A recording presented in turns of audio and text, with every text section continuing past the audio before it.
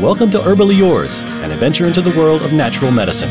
Here is your host, Dr. Ellen Kamhi, the natural nurse who will help you take the leap to ultimate wellness.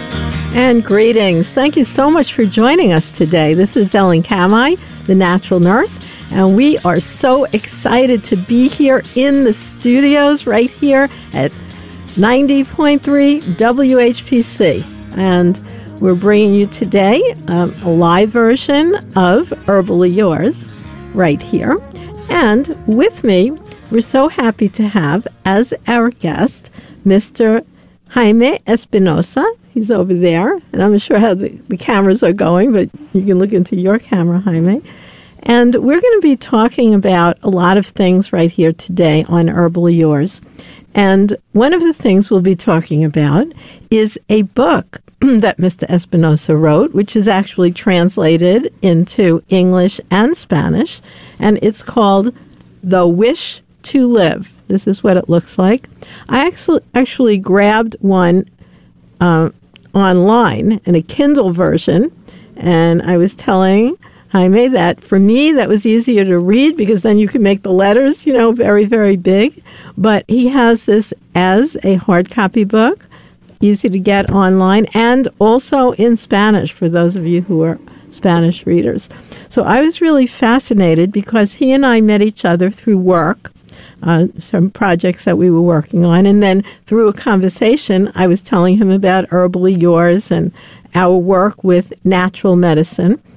And he shared with me that he has a beautiful retreat center, which is called Costa Rica Enchanted Paradise.com, which we will have on our archive. So you can just click the link and visit it.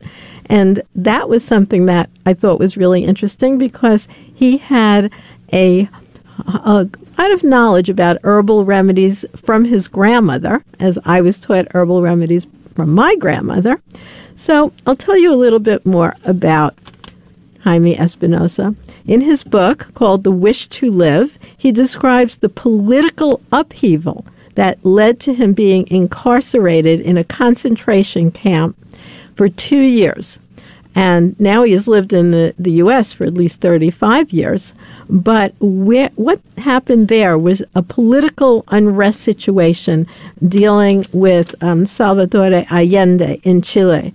So it goes back to the early 1970s and, and is really quite a story, which he shares in his book the wish to live. And then we went on to talk a little bit about plants. So we'll start our conversation there. If you were to go and visit Costa Rica Enchanted Paradise, or if you wanted to go there for a vacation, or how about groups? Could groups come there, you know, and, and do like a yoga retreat? It looks to me perfect for that. Yes, we can uh, actually uh, hold about 22 or 24 people.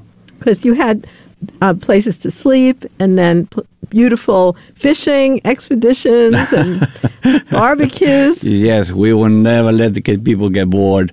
Um, yes, we're trying to accommodate, and uh, I'll tell you what, but for me, in the island, we got air condition, which is rare. I mean, we work very hard uh, for anybody who want to come to visit us to have the greatest time, good memories. And this is on an island off the coast of Costa Rica. Yes, it's uh, it's only ten minutes from where the ferry land. Uh, then I pick I pick everybody up. I give them the transportation, and uh, they'll be in paradise. I mean, total disconnect from civilization, uh, free from smoke, everything natural. And there's no internet, I imagine. Uh, yes, I did. I managed to get internet. There is internet. Well, that's yeah. better for Western travelers who like can't imagine turning off internet totally, so they can check in with their families. And the name of that place again is Costa Rica Enchanted Paradise. What inspired you to give it that name? Uh, the reason why I, I, I got to the place and and I looked at it, and uh, I says you know, it, it was hidden. Um, and and I got enchanted. So uh, and I also I, I asked, you know, God, I never ask you for anything.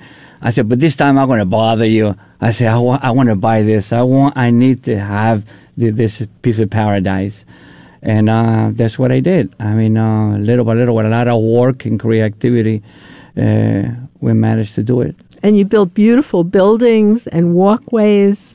You know, it's a perfect place for somebody to host. You know, people do if we get back to it now, post COVID. If we if people get back to like a travel wedding or a travel, you know, party of some kind, it's the perfect location. Yeah, uh, plants uh, and uh, fruit trees, like especially guanabanas, uh, plantain, uh, all kinds of banana trees, uh, lemon, oranges, avocados, all that. I mean, since you mentioned early, my grandmother, she always uh, put in my mind, you know, the, the right way to be is trying to get in contact with nature, trying to find uh, the remedy or whatever, you know, uh, affect your body.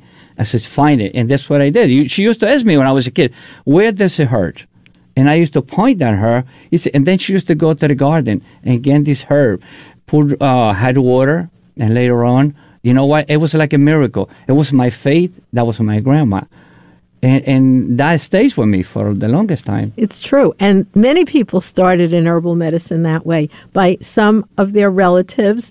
In fact, if any of you reach back in time and speak to your grandmother, or if you have an elderly aunt or uncle, ask them what was the home remedy that was used because you'd be amazed if you then look it up even on PubMed. So many of these things have now been documented to where we understand on a molecular level the mechanism of action.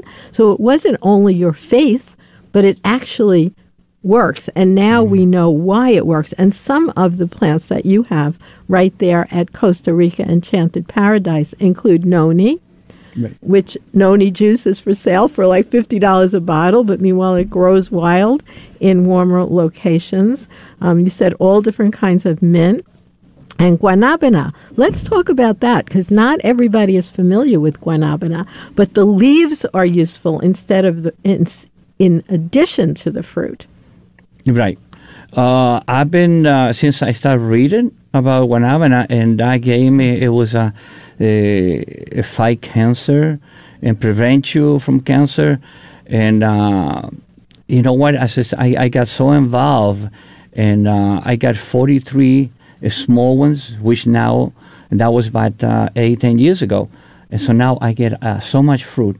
And early in the morning, sometimes I go and, and check them out because they grow big, big as a melon. And uh, I just I get to know when they get very shiny, they're ready to to ripe. You know, to get ready. So I make juice and also I make tea, like you mentioned before, uh, out of the guanabana leaves.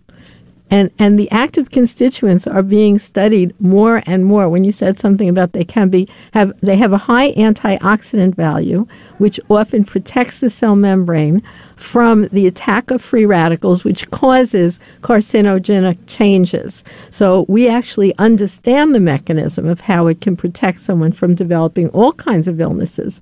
So that's so exciting because it's something that your grandmother used, and now you're growing it, and then there's scientific data to support it.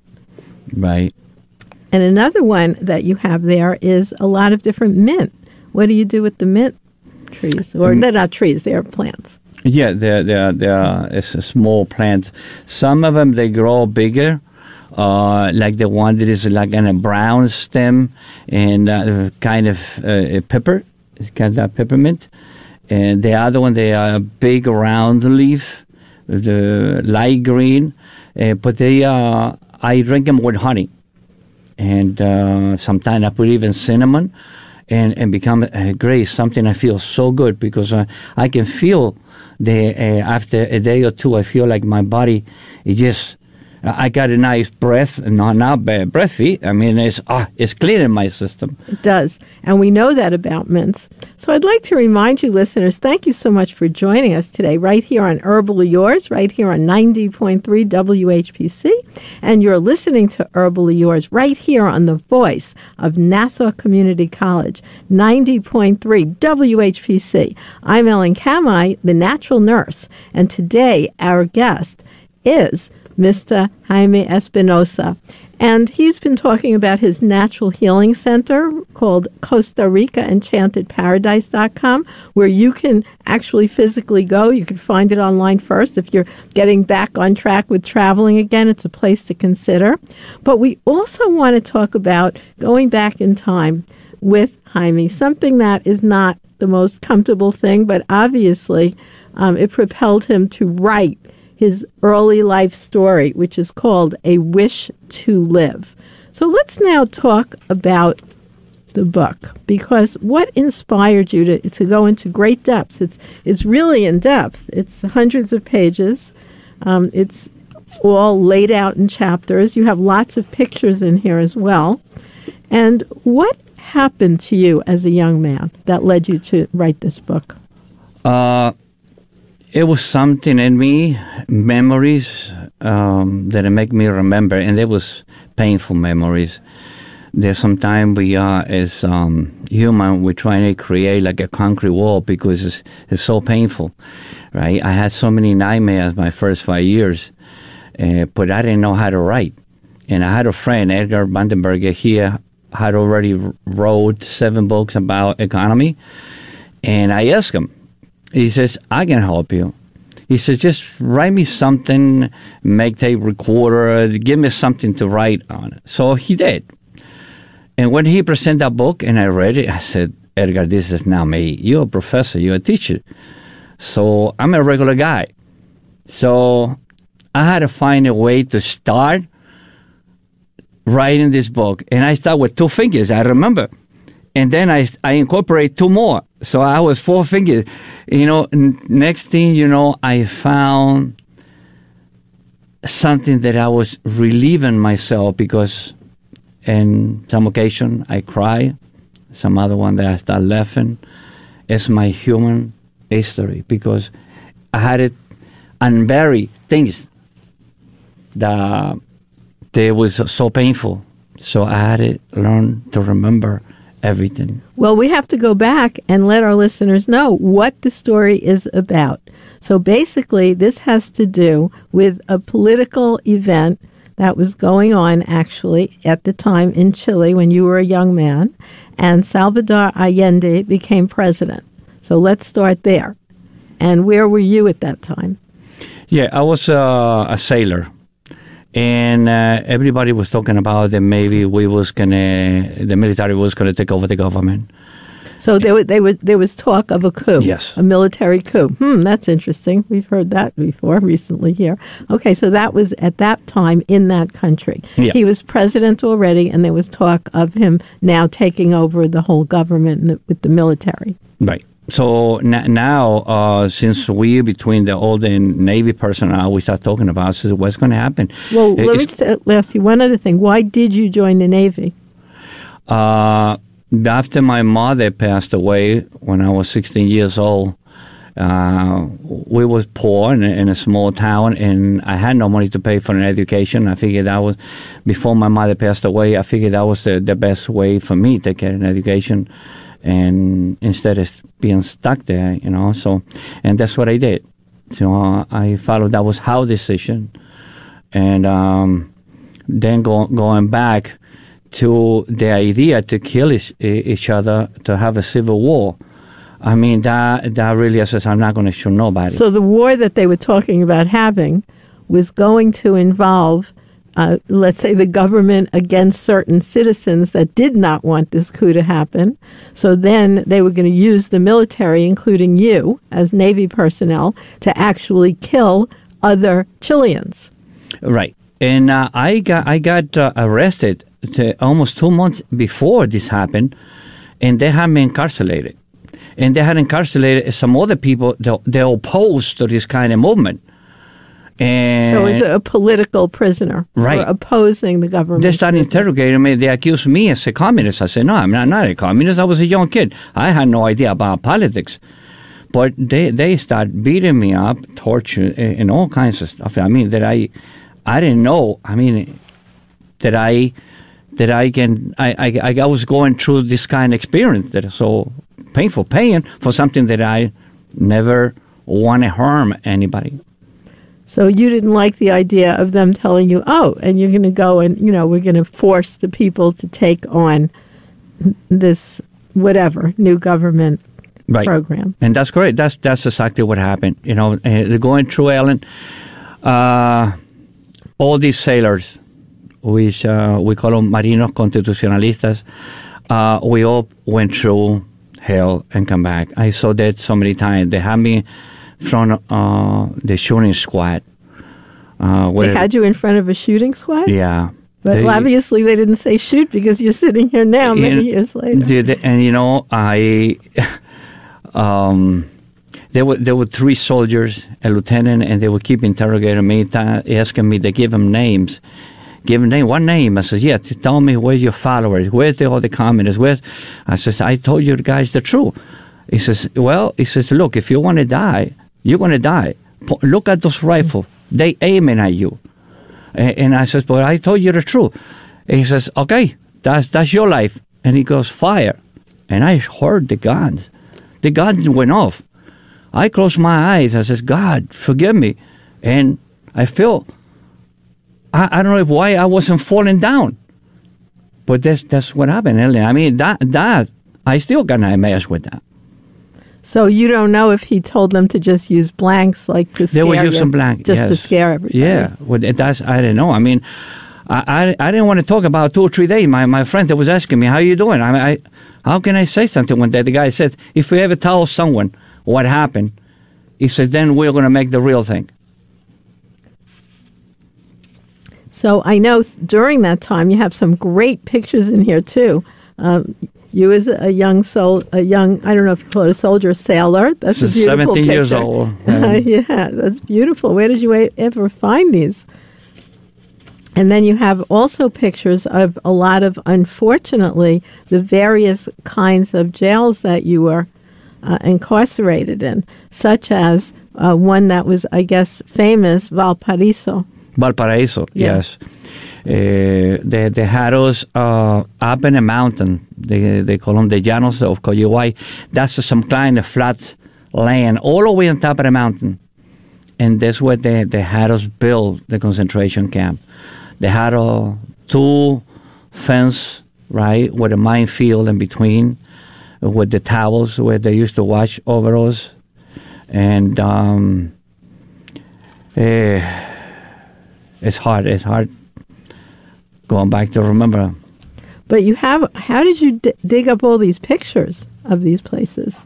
Are they in a Uh, museum somewhere? Because I know you have a picture of that place and also of Risk Island. Yeah. What was the difference between Risk Island and Valparaiso? Ri- Risk Island. uh, One of the guys there, he was a, a painter, and he actually drew exactly how how the um, the concentration camp was. And after he did it with a, with a pencil, and then uh, when he became free, and then he did something better, and that's the ga- he gave it to us.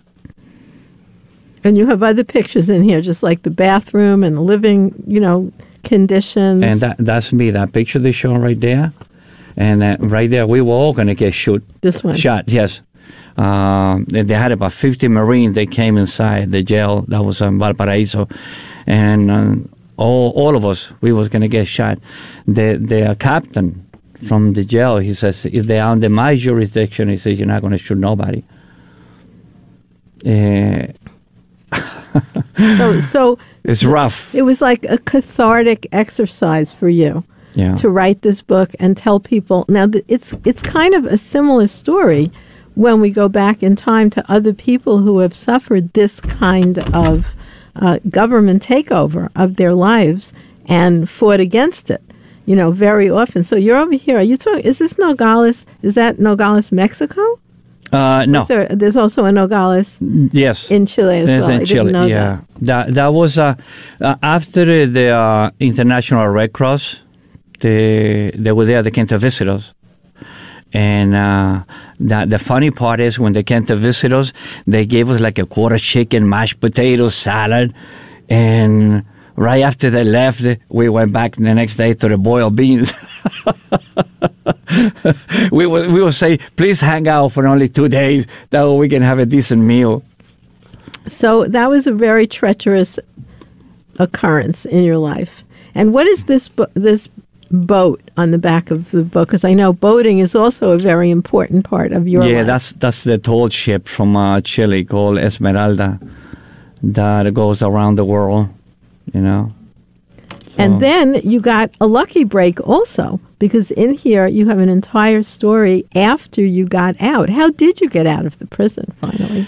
Uh, And that- alive, no less. Yeah, that was uh, my father. My father uh, went to, uh, they call them Fiscalía Militar. That's where all the command is. And uh, he threatened that he was going to blow himself up. And if he didn't release me. And um, he said that I, after that, the secretary, he, he called me. He says, you have to love your father very much. He says, uh, he said he was going to shoot himself in front of us if we don't uh, let you free. Wow, that's a wild story. And I want to tell our listeners that you're listening here to Herbally Yours on the voice of Nassau Community College, 90.3 WHPC. I'm Ellen Kamhi, the natural nurse. And today, our guest right here in the studio with us is author Jaime Espinoza, and we're talking about his book, The Wish to Live, in which he talks about a treacherous story that caused him to have very severe PTSD, which of course was not really diagnosed, correct? Nobody came and did a psychological analysis and said, oh, you need help because you have PTSD. Yeah. So- No, this uh, came uh, years later uh, when I visited a psychologist, and uh, uh, she noticed. He said there's something. Uh, it was inside of me because I got beat up when I was handcuffed. I was so tied up, and he says now that you got uh, you you your limbs free, your hands and everything, something that that offend you or, or hurt you, then you're ready to attack. You know, and uh, it took me a while before uh, I feel relief. Like I said in the very beginning, I every time I I, I remember these painful memories, it was uh, I create like a concrete wall. Writing a book for me it was like a relief. It was it's, like the vomit from my soul that I had to remember and put everything I'm writing. And I cry so much, and at the same time, sometimes I laugh. And uh, but it just helped me a lot. And I know that you shared with me that now, then you came to the United States, you've lived here for 35 years, and that was a fascinating story in and of itself. How you were brought here and actually very, very successful, and you're a United States citizen at this point. Yes, yes. No, I mean th- this was great because I found uh, that was like a committee that was helping uh, people who like me that there was a torture beat up. We had no future in Chile, and um, they uh, they took all my uh, my information, and they said uh, go back home, and they gave me a month or two. He said they were gonna get back at me, and then they sent me a letter that I was a free man to go over their office. And Ellen, when I got into their office, and he said, "You've been accepted," and they show me the the world map. He says, "Where you want to go? We're going to help you to start a new life." My heart was pounding so I couldn't help but all the tears came out of my eyes. I said, You're not joking. I said, Well no, we will never joke about something like this. And you chose the United States. I You showed could've gone United. States, New York. And here we are. Oh, and you still love best boats. thing happened in my life. That is that's really a phenomenal story. And you know, you're really talented. How did you get all your skills in terms of building so many things and building Costa Rica Enchanted Paradise? Uh, God gave me a talent, and I discovered that with the years. First, I started uh, uh, cleaning tables, uh, washing dishes, uh, like everybody, six months, and then after that, I changed uh, the job. I found a better job until I got uh, Fairchild Republic. I worked for an, an aircraft. Oh, you worked in Fairchild? Yes. Right here on Long Island. Yeah, on Long Island, yes. I was there almost 10 years. And then in 1986, when they closed the door, they moved to Texas. Um, I decided to start my own company. Yes, um, cutting grass, then uh, become a carpenter, a mason, and then guess guess what? I mean, I it was a world of construction in front of me. and I got involved, and I did it. I do that with passion. So that's a fantastic American story. You know, Thank that's, you. That's what we talk about in terms of, you know, the American dream that if somebody has passion, even if they came from a very rough start, you did being incarcerated in a concentration camp and tortured and, um, you know, all of those things that happened, but then it balanced out with the offer to start a new life in the United States, which they didn't hand you everything, but we got you here, and then you took that opportunity. And, and even went back in time more recently, writing your book, The Wish to Live. I'm sort of as a catharsis, but it's a really interesting book. And I'll say it, it's fast moving when you read it. It's interesting. And a lot of it is personal. A lot of, you know, sexual stuff that went on just in your life as a young man and, Right. and um, relationships that you had. You've also been a single father and, and raised a, a beautiful daughter on your own as well as have other children. So, a phenomenal story that you took the time to share with the world. It was really, really wonderful that, you know, you did that. And to end it off, you have Costa Rica Enchanted Paradise. So you both, you, you know, you're kind of a snowbird like me, Yeah. right? you go to Costa Rica in the winter, and you're still here on Long Island in the summer. Yeah, thank thank you, thank you very much, Ellen. And uh, yes, I full, I kind of fulfill my dreams, and, uh, and there will be a message, you know, for for uh, everybody. I mean, whoever have a dream, never stop. Just follow your dream, follow and, and determine, you know. And I really love what you shared with me earlier. Like, why don't we, as a race and even as a nation, really focus on how we can all live together instead instead of saying, "Well, our path is the right path, and let's you know destroy everybody else, regardless of what side of things that you're on." Right, Why yeah. not look? What about the planet and the Earth changes? And, Right. You know, that's what's really important. Right. Why we have a school to create a new weapon, new way of destroying ourselves? Why don't we have a school to solve our human problem? I mean, that that's my question, you know. So, but anyway, thank you, Ellen. Thank you, too.